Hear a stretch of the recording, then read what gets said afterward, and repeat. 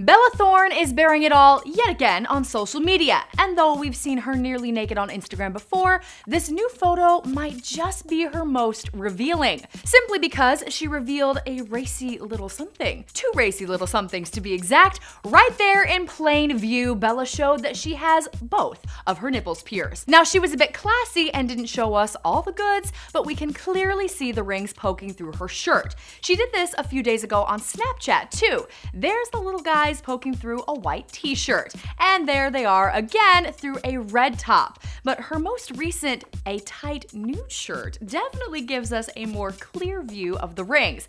And she definitely has both nips pierced. Now, you may have been a bit distracted by the boob situation to realize that Bella is actually showing off something else in her photo a new hairdo. The natural redhead has traded her auburn hair for a very dark, almost gothic shade, and she's given herself short, piecey bangs too. You may remember that even though red is her signature color, Bella actually updated her hair quite a few times in the last little bit. Her hair was a few shades of blue just last week. Bella's even given the rainbow look a try with multiple colors at once. Oh, and remember when she rocked green at the American Music Awards? Plus, we think she took a major hair tip from Kylie Jenner with her wig game. The actress has sported a Marilyn blonde wig and a fun purple wig recently as well. But if you're more of a fan of her natural look, myself included on this one, Bella is back to being a redhead in her new show, Famous in Love. The new freeform show hits the small screens in just a month, and Bella has been promoting it non-stop on social media.